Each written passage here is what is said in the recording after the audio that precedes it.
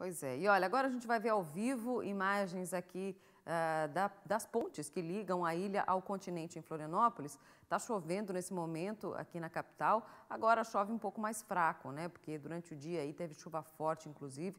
Trânsito bem intenso, como a gente pode ver aí na Colombo Sales não tão intenso na Pedro Ivo, mas é assim que fica aí o fim do dia aqui na capital, viu? Inclusive, ao longo dessa terça-feira, a Guarda Municipal registrou diversos pontos de alagamento na cidade, por isso, a própria Guarda Municipal trabalhou na chamada Operação Onda Azul, que consiste em posicionar os agentes aí nos principais semáforos, fazendo o controle manual do trânsito. Nenhum acidente grave foi registrado, mas fica alerta, né?